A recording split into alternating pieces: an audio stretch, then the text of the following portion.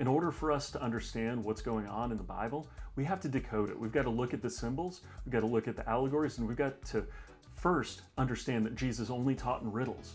Only when we realize that Jesus said in Matthew 5:13 to 15 that he was fulfilling prophecy of Isaiah from Isaiah 6 9 to 11, that he taught in riddles, he taught in parables, so that people would be confused, they wouldn't understand and wouldn't be healed. Until we realize and recognize that Jesus taught in riddles, we will never understand what the Bible's about. Plain and simple.